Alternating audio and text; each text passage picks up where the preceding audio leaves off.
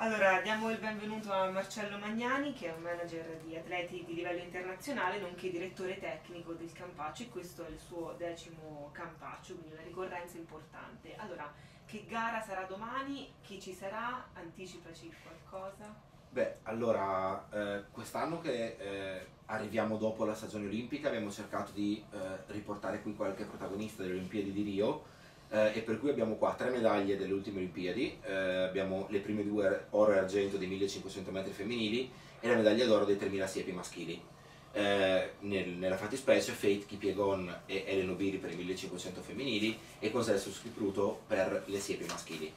In più abbiamo cercato di portare comunque, essendo un cross, un campione del mondo, abbiamo la campionessa del mondo di cross Agnes Tirop, eh, nelle donne, abbiamo una medaglia dei degli ultimi campionati del mondo su pista eh, la vice campionessa del mondo ai 10.000 metri Gelete Burka, eh, abbiamo il campione in carica dell'anno scorso Imane Merga, eh, il secondo l'anno scorso Mukhtar Edris che è anche bronzo degli ultimi campionati del mondo di cross, per cui abbiamo cercato di dare una non solo qualità ma anche profondità al, al campo dei partenti. E degli azzurri invece chi ci sarà? Degli azzurri abbiamo due medaglie degli ultimi europei eh, di cross che sono fatti in Sardegna, infatti abbiamo il vice campione europeo junior ehm, Johannes Chiappinelli che è anche campione europeo junior in carica dei 3000 siepi e eh, Yeman Krippa che ha vinto il bronzo nella gara under 23. E delle donne invece non... Delle donne abbiamo avuto purtroppo nell'ultima settimana la defezione di Veronica Inglese che è vice campionessa europea di mezza maratona eh, ma purtroppo l'influenza che le ha eh, impedito di partecipare anche agli europei di cross a Chia eh, le ha diciamo, avuto uno, una coda piuttosto lunga, eh, specie in abbassamento di valori di ferro se, e non era a posto per gareggiare, per cui lei di venire qua con una gara di questo livello a fare la figuretta non si era sentita. Per cui purtroppo eh, Veronica doveva essere presente e non ci sarà. Abbiamo Sara Dossena che ha comunque appena vestito la maglia azzurra eh, agli europei di cross ed è anche una triatleta di ottimo livello e abbiamo Sara Galimberti. Ok. Eh, eh, la, la, sfortuna che è domani concomitante anche con uh, questa gara a livello europeo in Inghilterra. Esattamente. Eh, è ovvio che eh, ci siamo sentiti in questi mesi con gli organizzatori di Edimburgo, cerchiamo di, eh, ognuno ovviamente cerca di tirare acqua al proprio mulino, però comunque cerchiamo anche di non pestarci i piedi rispettando diciamo, qualche regola di buon vicinato, per cui sapendo che a Edimburgo ci sarebbe stata come sempre la selezione europea, contro la selezione americana, contro la selezione eh, britannica, cerchiamo di lasciare spazio in quelle categorie a una gara che sarebbe il giorno dopo di noi, per cui eh, è ovvio che alcuni protagonisti dei campionati europei di Kia saranno a Edimburgo, ma non li abbiamo cercati apposta perché eh, cerchiamo appunto di rispettare anche loro. Il tuo rimpianto riguardando l'edizione del 2015 quando eh, Lali e Meucci avevano lottato per il successo condizionale e di non avere nessuno dei due? Eh beh, in questo momento entrambi stanno riprendendo da due infortuni piuttosto seri. Nel caso di Daniele eh, Meucci, eh, che è venuto a Campaccio diverse volte e ogni volta che è sano eh, non ha mai mancato la presenza. Eh, Daniele si è fatto una frattura eh, durante le Olimpiadi, è per questo che lui si è ritirato durante la maratona olimpica e ha ricominciato a correre, ma io non dico ad allenarsi seriamente, ha ricominciato a correre più o meno un mese fa, dal 21 agosto che era la data della maratona olimpica, per cui l'infortunio è piuttosto serio, quindi Daniele fino a febbraio difficilmente lo vedremo gareggiare. Senti, invece a livello femminile la possibilità di avere magari una del buono di cui si sono perse un po' le tracce? La del buono doveva essere presente, però già prima dei campionati europei di cross mi è stato fatto sapere che non sarebbe venuta come pare non ha gareggiato agli europei di cross perché ha avuto l'ennesimo, anche se mh, mea colpa non so quale, eh, l'ennesimo infortunio che penso non so, negli ultimi due anni eh, Federica si è infortunata almeno 4-5 volte. Eh no. Gestisci tu? No No. Eh no, praticamente nel, nel, dal, ha fatto solo il 2014, giusto? Eh, Sana, sì, eh, ha fatto l'inverno 2015 dove ha vinto il bronzo agli europei indoor se non sbaglio, esatto. ma già lì ha corso al limite dell'infortunio perché lei aveva già male eh, a un piede il giorno durante i campionati europei indoor, per cui già è arrivata al limite lì. Ah, sì, sì, è vero. Marcello, tu prima hai citato la gara di Lali e Meucci eh, alle spalle dell'americano Reed. Eh, non pensi che due africani di meno domani e due italiani di più sarebbero stati ben voluti, ben graditi, pensando eh, magari se non a due inglesi, i due che hanno fatto l'europeo, che erano ben validi, non so, due, due belgi, due, ci saranno degli atleti di un certo valore, cioè di poter mettere anche i nostri a livello un po' europeo perché tutti questi keniani insomma ci schiacciano, ci, ci deprimono. Hai perfettamente ragione, ma ci sono due ordini di, due categorie, eh, due tipi di risposta che ti devo dare. Una è che tutti gli italiani sani ce li abbiamo, quelli che sono in grado di stare in piedi sono tutti presenti. Eh, dall'altra parte... La rosa no. Eh? La rosa no. La rosa non è disponibile per fare i cross. Io devo, ovviamente poi se un atleta mi dice non mi interessano i cross, preparo una maratona primaverile, io non posso obbligarlo a, eh, a, a venire a, Beh, anche perché a Campaccio. comunque anche non aveva dimostrato di essere in condizione di fare il cross neanche a chi. No, esatto. Però Stefano La Rosa comunque è un nome, è un atleta olimpico. Fosse stato disponibile per il cross avremmo fatto di tutto per portarlo. Proprio non è mai stato nelle liste di atleti disponibili eh, per, per venire qui. L'altra, l'altra risposta che mi sento di darti Ennio è il Campaccio fa parte del circuito IAF Permit, dove abbiamo degli obblighi messi dalla IAF da regolamento, dove tu devi portare ogni anno 6 uomini e 6 donne eh, considerati dalla IAF qualificati. Per qualificati noi intendiamo un atleta che o è arrivato nei primi 30 all'ultima edizione mondiale di cross, o è, o è nelle graduatorie mondiali del 2016 in questo caso, nei primi 30 in una disciplina compresa fra eh, i 1500 e la maratona. E la maratona.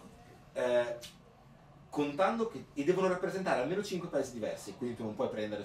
Quindi, Certo. se tu devi rispettare questi criteri, credimi che eh, già lì, ragazzi, eh, abbiamo un budget da rispettare e già lì tu per rispettare questi criteri, più portare gli italiani sani che hai, già tu finisci, finisci i fondi. Eh, detto questo, è ovvio che qualche europeo eh, in più sarebbe, avrebbe fatto piacere, ma rientra in quella eh, ottica di non pestarci i piedi con Edimburgo, perché il ragionamento che loro hanno fatto è un certo tipo di atleti, quest'anno voi volete le medaglie olimpiche, noi non le andiamo a cercare, in modo che non si facciano aste stupide che, che fanno male a noi e fanno male a Edimburgo. Eh, dall'altra parte dicono cercate di fare in modo che gli europei che dovrebbero far parte della selezione europea eh, per poi venire a Edimburgo non, non andarli a cercare tu, in modo che ci ritorni il favore dall'altra parte. Per cui con una gara grossa come Edimburgo e tradizione come Edimburgo il giorno dopo è ovvio che questo tipo di discorsi sarebbe scemo non farli. Eh, perché presentate il campaccio tre settimane prima? Dopo quando arriva il momento della gara mi cambiano sempre 5, 6 atleti, 4 e poi non sono gli ultimi arrivati, sono sempre i primi. E questo è un errore secondo me. Ok, allora la presentazione di una gara come il Campaccio, visto che noi siamo con le feste addosso fondamentalmente, tu capisci non puoi farla durante le festività natalizie, quindi va fatto un attimo prima. Eh, non puoi farla semplicemente il giorno prima come oggi e quindi come data L'avete fatta il 13. il 13 di dicembre. Sono tre settimane prima. Sì, però tu Facevi capisci 20, 22, non lo so. sei troppo sto Natale, non lo puoi fare. E ti dico che abbiamo perso alcuni atleti e alcuni mi è dispiaciuto in modo allucinante, ma Poltanui, faccio un esempio, vice campione olimpico del- dei 10.000 metri, doveva venire, Poltanui vive in Giappone, il suo club fino al 2 di gennaio che fanno la presentazione ufficiale non l'ha autorizzato ad andare a Tokyo a, far- a consegnare i documenti per fare il visto. Quindi tu capisci che quando tu sei- non sei autorizzato a lasciare la sede della società fino al 2 di gennaio, non hai fisicamente il tempo per, per andare a farti un visto. Eh, è successo che ad esempio Ruth Jobet, campionessa olimpica delle siepi e primatista mondiale delle siepi, è caduta nell'allenamento e si è fatta male. Vabbè, poi Eh, per cui eh, la- quest'anno una delle scelte di avere un, un cast così profondo, quindi non solo con uno o due fari, ma avere diverse luci dentro, dentro questo cross, era proprio perché sappiamo che con le feste a ridosso gli atleti cambiano manager, gli scade il passaporto, eh, non ti danno il visto. Oggi con la questione del terrorismo che c'è in giro per il mondo, alle volte vengono proprio rifiutati i visti. Tu consegni i documenti in ordine e tutto, non ti danno il visto. Per cui sappiamo che rischi di perdere dei pezzi per strada. Eh, e per cui lo metti Però in questo conto. accade quasi tutti gli anni. Eh, ma noi essendo il 6 gennaio accadrà, accadrà sempre. Eh, eh, non lo so, eh, eh, cioè io quando vado alla presentazione vedo dei nomi, quando c'è la gara sono degli altri. E questo ti ripeto, essendo a cavallo dell'anno e con ambasciate chiuse, federazione chiusa e così via, purtroppo è una cosa da mettere in, pre- in preventivo. Eh, noi cerchiamo di muoverci molto per tempo, io cerco già verso al massimo metà novembre di avere l'80% della gara fatta, proprio perché voglio dare a tutti i manager che poi devono fare i visti eh, e così via, dare tutta la documentazione pronta per tempo. Ma so che statisticamente, come dici tu, da 3 a 5 sempre succe- succede e sempre succederà. Eh, capita che anche gare su strada, maratone, molto più avanti dell'anno affrontino questi problemi.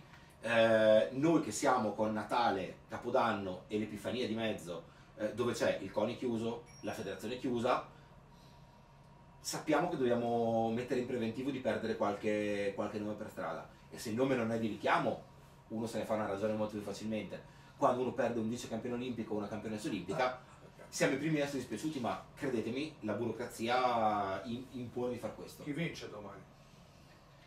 Allora, eh, io vi dico che ho visto molto bene eh, a Bolzano. ehm, eh, Barut. no, eh, Ira Baruta ha vinto la guida a Roma. Roma. Idris. Eh. Mukhtar Idris.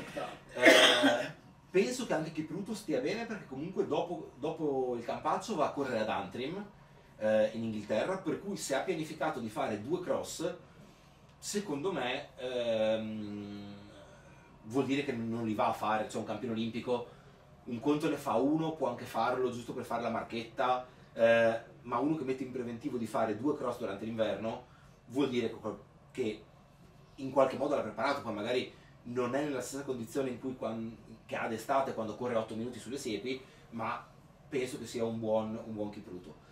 Nelle donne mi dicono star molto molto bene Ellen Obiri. Ellen Obiri è una che non ha mai fatto i cross.